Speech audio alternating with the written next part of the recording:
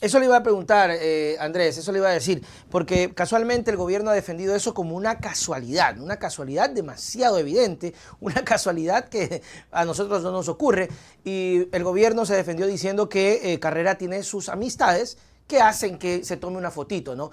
Ya por ahí incluso se hicieron el harakiri porque tener las amistades o los contactos para que supuestamente lo lleven y supuestamente lo acerquen para tomarse una fotito en una visita oficial. Pero el problema, Andrés, es hasta qué punto se lo puede vincular si no tiene nombramiento, si no hay un, por algo el tema de los adonoren, ¿no? Que ya se vio preocupado y enseguidita los desapareció. Eh, ¿Qué podría pasar o qué tendría que existir para que realmente exista este vínculo con el señor Carrera de llegar a darse el caso? Bueno, es que los vínculos con eh, el señor Lazo están absolutamente claros.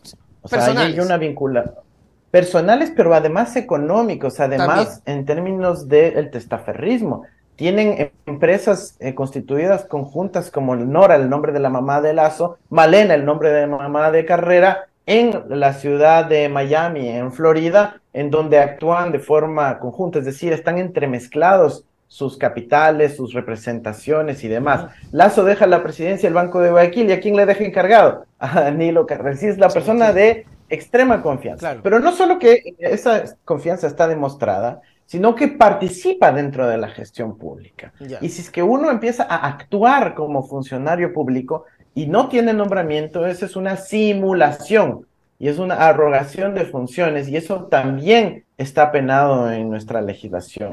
Entonces es por ahí donde se tiene que investigar tanto en el plano penal como en la fiscalización que está haciendo la Asamblea Nacional, porque la consecuencia de esto la tiene evidentemente el mismo señor Lazo. Y no hay una foto, Nelson, en Washington. varias. Hay varias fotos en distintos lugares donde ya está apareciendo él como parte de la delegación oficial y en la delegación oficial hay uso de recursos públicos como los vehículos estatales, hay la cápsula de seguridad que es la serie de guardaespaldas militares, etcétera, que resguardan al presidente y su comitiva, hay comunicaciones oficiales en donde el Estado ecuatoriano la administración pública tiene que mandar cartitas al gobierno de Estados diciendo, eh, al gobierno de Estados Unidos diciendo, estos son los miembros de mi delegación oficial y esas pruebas son indispensables y serán contundentes para poder mostrar este rol de simulación de funcionario público que está haciendo el señor Carrera. Ahora, eh, esto de acá, Andrés, con el tema también de Hernán Luque y el señor Cherres, que Cherres tampoco asoma, pero no asoma dentro de las... Eh, dentro de lo legal de la estructura del gobierno, pero asoma en fotos y todo eso. Eh, ¿Debería aplicarse lo que le aplicaron a, a, Correa? Es decir, a Correa le aplicaron el influjo psíquico y lo condenaron y lo sentenciaron. Pero acá estamos viendo una campaña, incluso en algún momento lo escuché a Anderson tratando de justificarlo al presidente y decirle, presidente, eh, no ponga las manos al fuego, denuncie, eh, casi casi diciendo, pobrecito, eh, no se meta con esta gente que le hace quedar mal. A Correa no le aplicaron eso, ¿no? A Correa lo, condenaron de inmediato. ¿Debería aplicársele lo mismo en este caso, Andrés?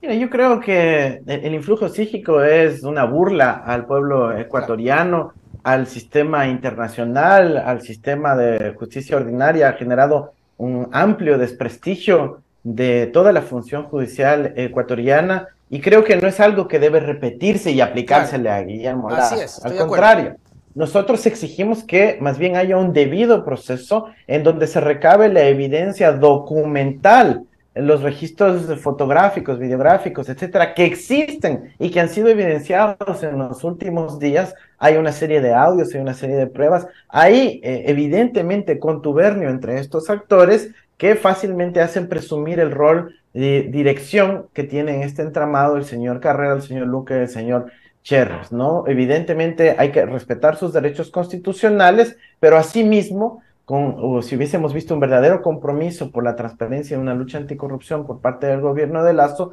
hubiésemos visto que hayan actuado mucho antes como han actuado en el pasado, en el caso de Olavini, que ni siquiera le dejaron salir del aeropuerto, etcétera, etcétera. ¿no es cierto? Entonces, hay formas de, actuar. Y, y, la solución en definitiva no es decir, bueno, para luchar contra la corrupción vamos a una consulta popular. Ya me imagino yo, por ejemplo, a a, Nayib Bukele decir, bueno, para luchar contra la corrupción y la seguridad tenemos que primero hacer un referéndum constitucional. No es eso, hay que ejercer la función administración, hay que saber gobernar, hay que actuar. y para eso se necesita liderazgo y ética, cosa que carece señor Lazo, y por eso evidentemente busca estos chivos expiatorios y soluciones rápidas y facilistas como la consulta.